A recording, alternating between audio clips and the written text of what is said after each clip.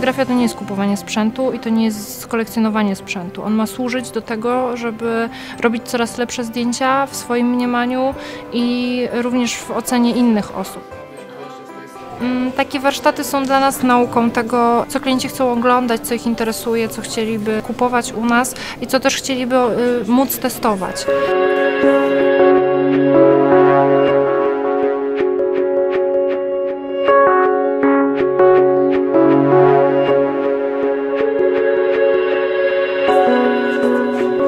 Wiadomo, że każdy przychodzi na taki warsztat z jakimiś tam wymaganiami własnymi, czy oczekiwaniami, czego może się nauczyć, czy, czy co może obejrzeć. Niektórzy przychodzą bardziej po wiedzę teoretyczną, inni po wiedzę praktyczną. Ta wiedza teoretyczna nabyta podczas y, warsztatu jest niekoniecznie taką typowo szkolną. Nie chodzi o to, żeby się szkolić, jak ustawić światło w tym miejscu danego dnia, czy jak, jak zrobić najlepsze zdjęcie. To jest warsztat, czyli pokazujemy coś, coś razem ćwiczymy, czegoś się od siebie wzajemnie uczymy.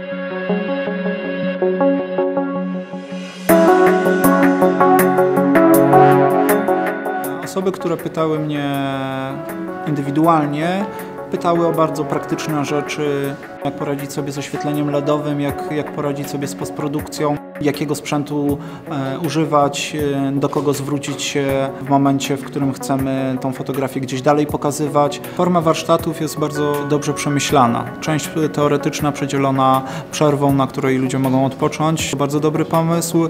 Następnie zajęcia praktyczne i korekta tych prac. Duża świadomość organizatorów, jak, jak powinny takie warsztaty wyglądać. Myślę, że warto wziąć udział. Można się dużo nauczyć.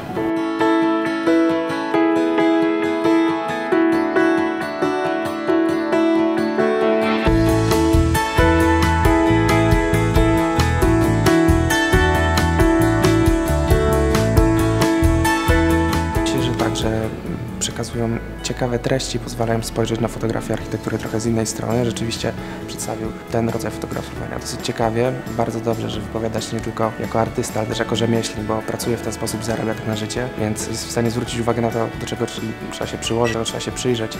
Podobało mi się, że y, fotograf mówił o takich drobiazgach, drobiazgach, które determinują właśnie poziom, poziom de facto jego profesjonalizmu, czyli nie mówił o podstawach fotografii, czyli jak ustawić aparat, ekspozycję, czy co to jest bracketing, bo on po prostu uważał, że my to wszystko wiemy i skupiał się na tym, co może być dla nas interesujące.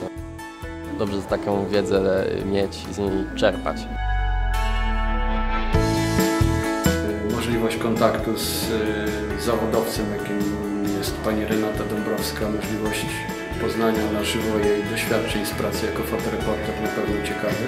A dodatkowo korzyść, możliwość dotknięcia, wypróbowania sprzętu.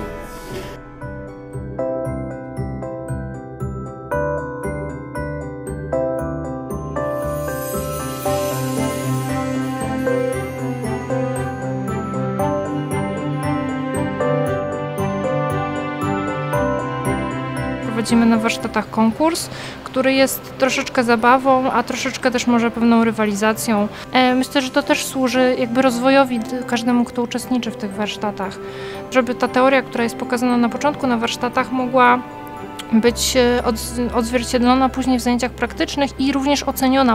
Zrobienie jakiejś tam fotografii jest potem przez prowadzącego e, na podstawie wcześniej przekazywanej wiedzy ocenione.